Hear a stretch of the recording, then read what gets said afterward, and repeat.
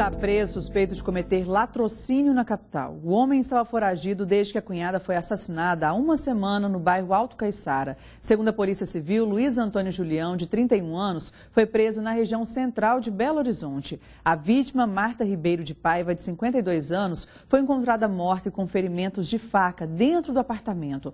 A vítima estava caída sobre a cama e havia uma poça de sangue ao lado dela. O suspeito foi flagrado entrando no prédio e conseguiu abrir a porta do apartamento apartamento porque tinha a cópia da chave. Após o crime, foram realizados pelo menos cinco saques entre 100 e 500 reais da conta de Marta. O delegado responsável pela investigação falou sobre o trabalho para identificar e prender o suspeito.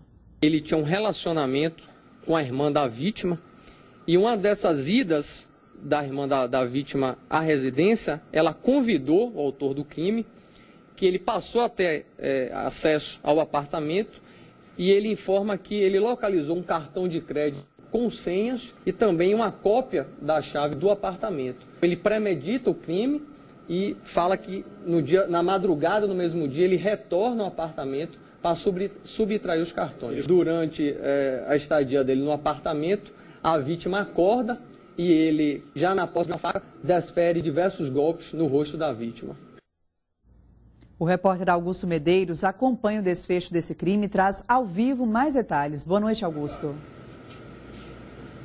Boa noite, Monique. Boa noite a todos. O suspeito de matar a secretária Marta Ribeiro deixou agora há pouco aqui o DOESP, no bairro Gameleira, em Belo Horizonte, e foi encaminhado para um presídio em São Joaquim de Bicas, na região metropolitana. Durante a apresentação, o Luiz Antônio Julião, de 31 anos, confessou o crime. Disse como matou a secretária usando uma faca e se diz arrependido do que fez.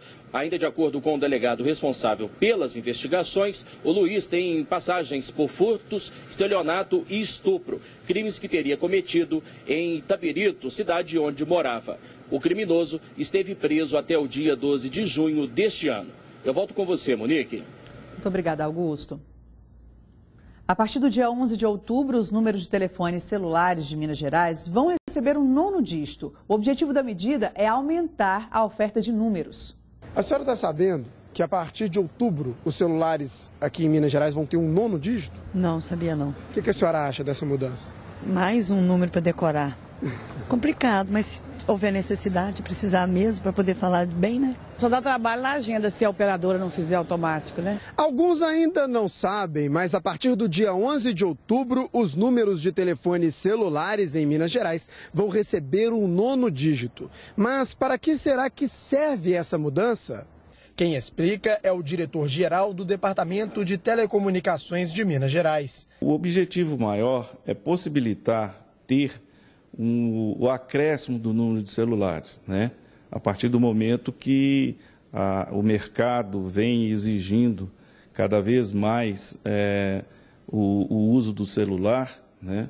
Então, isso vai possibilitar é, chegar, se for necessário, até duplicar, triplicar e quadruplicar dentro da tecnologia existente o número de celulares em Minas Gerais. É bom lembrar que a mudança só vale para os números de celular. Os aparelhos fixos não vão sofrer essa alteração, bem como também aqueles aparelhos que são móveis que estão iniciais com o número 7. O cronograma da Anatel prevê que os celulares de todo o país vão ter o nono dígito até o fim de 2016. Em outubro, além de Minas Gerais, Sergipe e Bahia passam pela mudança. Eu não sei explicar como é que é isso, como que vai acrescentar o mas acho que vai ser bom, né? Não tem muita dificuldade, não. Uma boa notícia é que haverá um período de adaptação nos primeiros dias após a mudança. Vai ter uma fase em que, durante um período de 10 dias, é, que é o período que a gente chama, né, e, e, que a Anatel chama também, de convivência.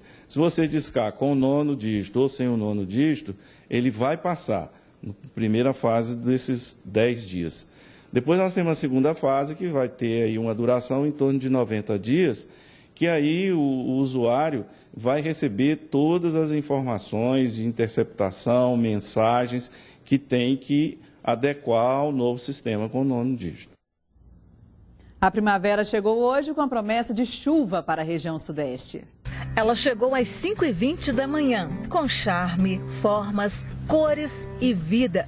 Olha só, o verde está até mais intenso. O vermelho também. É a magia do encantamento da primavera. Chega muita alegria, muitas flores, o céu fica mais bonito, as árvores ficam maravilhosas. É um astral completamente diferente. A primavera tem mais cor, mais beleza e tem perfume. Não tem cheiro de perfume das flores. E elas parecem pintadas à mão, dão um toque especial ao cenário. Como não fazer parte dessa paisagem, seja conversando, lendo o jornal ou apenas descansando?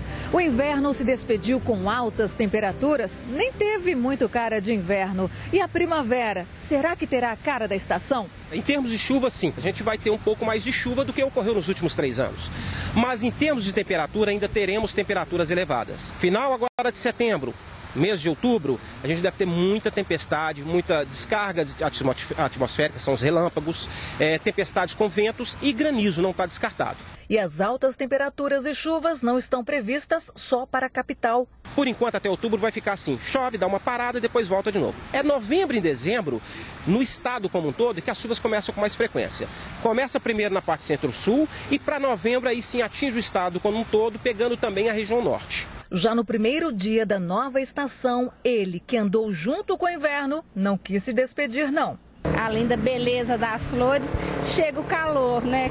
Que esse eu não gosto muito.